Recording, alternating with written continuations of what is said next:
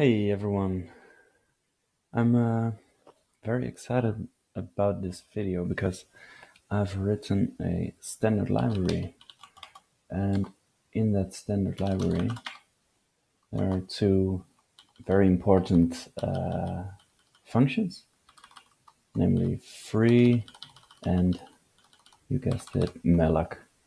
So we've got dynamic memory, memory allocation. So that's really cool. And it was quite interesting to implement this because it's actually the first serious implementation I've done in the Ilo.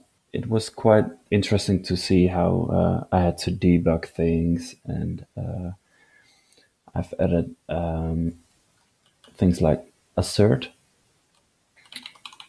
So the the code is full of uh, asserts like this uh, because otherwise I couldn't find the bugs. Um, this also means that I already know what we're gonna do next time, which is type checking, because a lot of the bugs would would have been noticed by the type checker, so that would save a lot of time.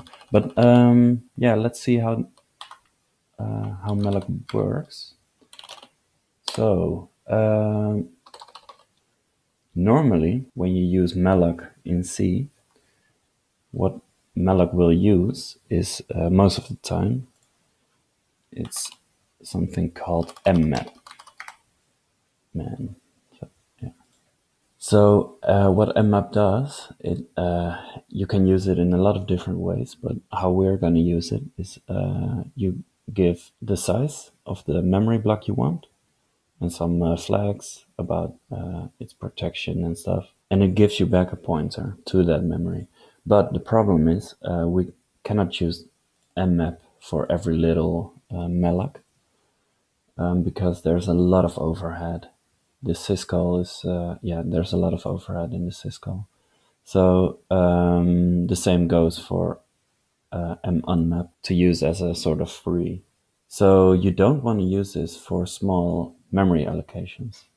So what we do is we use mmap to allocate a page, which is in, in our case is uh, four kilobytes of memory. And then within that page, we have smaller blocks we can allocate. And that allocation logic uh, we have had to write ourselves. All right, so I've uh, to make things easier, uh, I've written some, uh, I've created some graphs, which uh, dot files. Uh, let's see, online on and that graph. Yeah. So this is the flowchart of malloc. I've, I've done the same for uh, free. Uh, and this shows us what we have to do. So I'll first show you what the structure is of a, a page. So a page has uh, some metadata, uh, page metadata, which are a couple of bytes, bytes in the beginning of the page. Um, previous page and next page. There are two pointers in the beginning of the page to the previous page and the next page. So that's it. Then you have the blocks and each block also has metadata. For example, uh, a free boolean, which uh, lets us know if we can use the block to uh, allocate of, or if it's already been allocated. Its size, so we know its size and when the next block begins, stuff like that. So yeah, things like this are in the block metadata. And if you malloc, um, it first goes to um, the next page.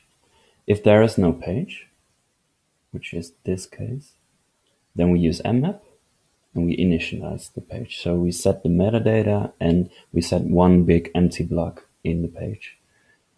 So then we have the page and uh, then we go to the blocks within that page and we search for the first block, which is free and has enough space. When we don't find it, when we don't find uh, an available block. We go to the next page, and again, if there is no next page, we create a next page.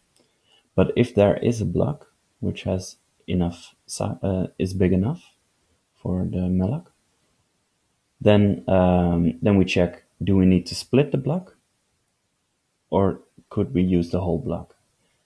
Uh, because you can use the whole block if the size is exactly equal to the to the needed malloc size. And if it's not, you have to split it up. So this is like how we've implemented it. So, and uh, free, what free does, I'll show you free.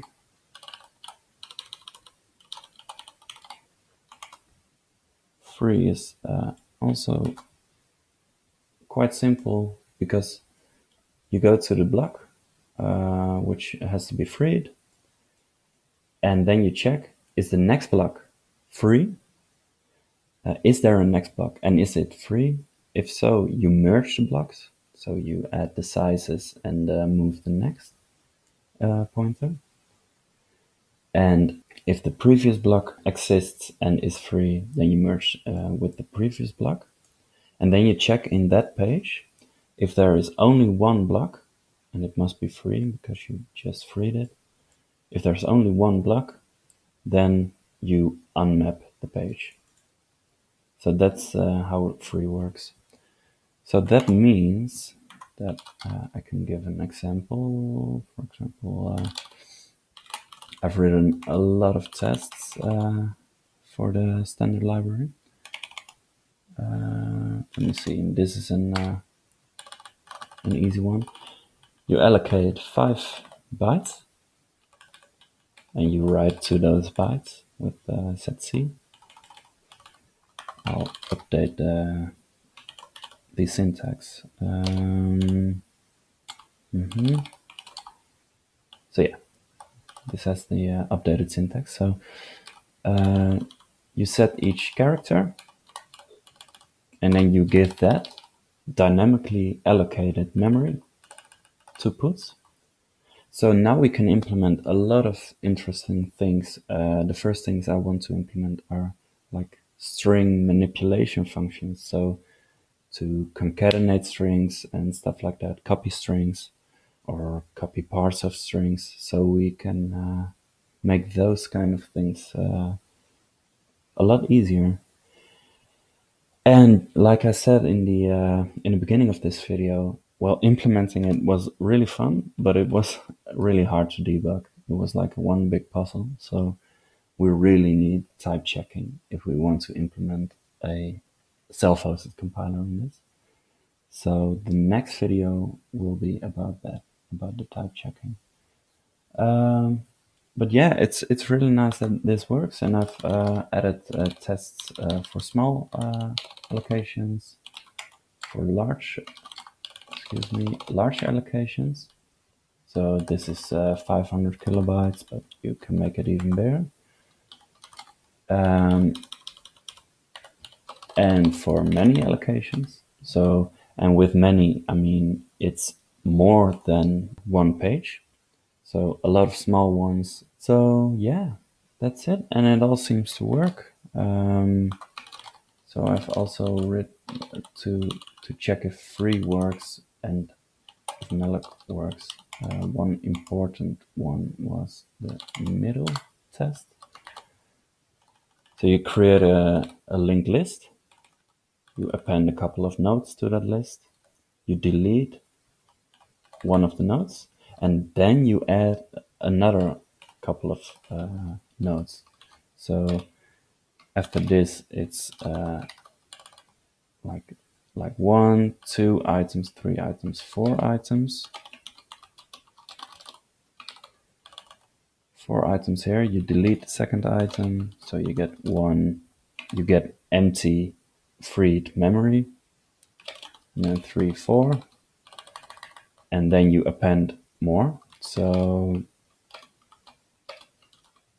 it, it will be like uh, one, five, three, four, and then we check is uh, is four which is, yeah, I called it 5 here, but it's actually 4, is 4 before 3 and 3 before 5. So after this, I know that the hole in the memory, to call it like that, the hole in the memory has been filled up with a new node. So we know that malloc and free work as it intended. So yeah, that's really awesome. Um, so yeah, I hope you found it interesting. If there are any questions about this, please let me know. And I hope I'll see you next time. Bye.